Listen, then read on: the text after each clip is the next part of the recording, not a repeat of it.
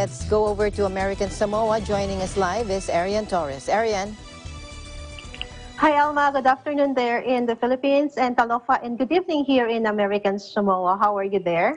I'm good. Uh, what are your updates for us, Arian? Yes, I uh, have a good news for everyone again that American Samoa is still COVID free. Mm-hmm. The first COVID 19 test sent from American Samoa has returned negative. The Territory Health Director Motusa welcomed the result as very good news, and mm-hmm. two more results are pending. And earlier this afternoon, I had a chance to interview a teacher from one of the private school here in American Samoa. Let's listen in. As a teacher, how do you help your student through online studying with this new normal situation here in American Samoa? Okay, so um, since we're using Google Classroom for our school, um, what, what I do as a teacher is I put up my PowerPoint and um, I do a video PowerPoint for them so that they'd be able to still listen to me while they are um, at home. How does the administration in your school, together with the teacher, came up with this idea or action plan?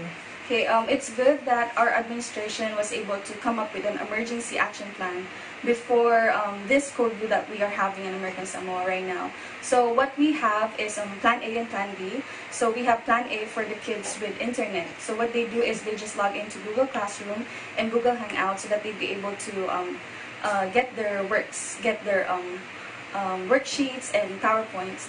But the plan B is for the students without the Wi-Fi at home, without gadgets that um, they can use for their learning. So what we do is um, we gave out packets for them. In the packets, they have this um, worksheets, handouts, same thing that we upload in the Google Classroom. Okay. Um, do you have any message to your students? Okay, uh, my message to my students, just keep on working hard. I know that this is not normal for all of us.